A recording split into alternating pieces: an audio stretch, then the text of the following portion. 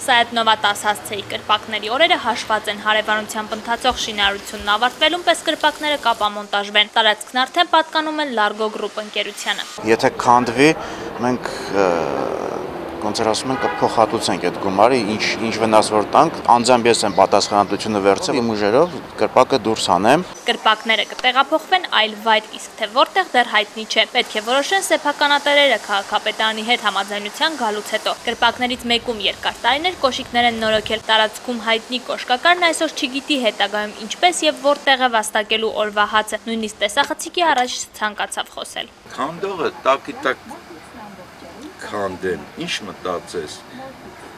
Այսօր մարդկային մոմենտ եղավ, եղավ, չեղավ ու ոչ կարաս վիճաբանես, ոչ կարաս մեկին բողոքես։ Կրպակների կողքին եւս երկու շինություն կա, մեկը սրճարան է, մյուսը մթերային խանութ։ Բարեբախտաբար նրանց տարածքը չի պատկանում Largo Group-ին, այսինքն շինարարության ավարտից հետո նրանք կմնան իրենց տեղում։ 1 մետր էս կողմ շինարարությունից, 1 մետր էս կողմ եւ այսպես մինչեւ այն առաջ եկոտ երրորդ բարձր են տրում բան։ Հա, այսինքն բայց այդ խանութներն են մտնում ուրեմն։ Չէ, պլյուսն էս կտրվում։ Իսկ խանութի աշխատակիցներն այնքան էլ չեն վստահում ընկերության խոստումներին։ Սարքեն վերջացնեն արդեն իրանց այս